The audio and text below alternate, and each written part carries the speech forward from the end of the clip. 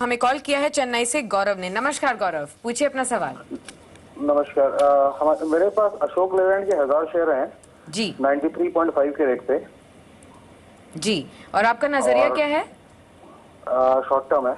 Short term के लिए आपने यहाँ पर निवेश किया है ठीक है?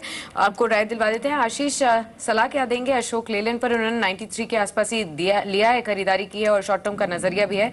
उसी के आसपास अभी ट्रेड हो रहा है अशोक लेलैंड पर।